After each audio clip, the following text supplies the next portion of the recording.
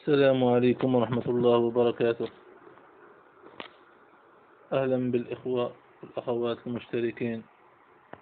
وفاة عاملين في انفجار بمنجم بمنجم عين زال في سطيف توفي عاملان وأصيب ثالث في انفجار متبوع بانهيار جزئي لنفق تنقيب بالمؤسسة الوطنية للتنقيب عن المواد غير الحديدية والمواد النافعة الشعبة الحمراء بمنطقة خرزة يوسف. شرق مدينة عين زال 50 كيلومتر جنوب سطيف حسب ما علم اليوم الثلاثاء من مصالح الحماية المدنية.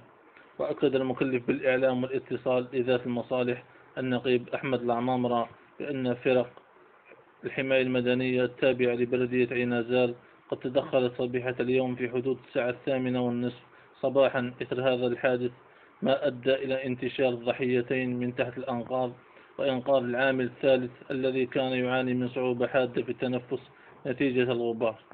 وحسب النقيب العمامرة فإن عملية البحث متواصلة حاليا داخل الأنقاض بعين المكان تحت إشراف المدير الولائي للحماية المدنية للتأكد من عدم وجود عمال آخرين في حين توجهت فرق متخصصة للحماية المدنية للبحث داخل النفق.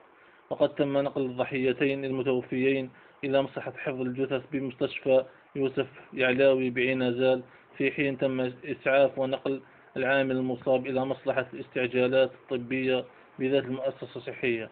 وحسب إذاعة الطيف فإن وزير المناجم محمد عرقاب انتقل إلى مكان الحادث.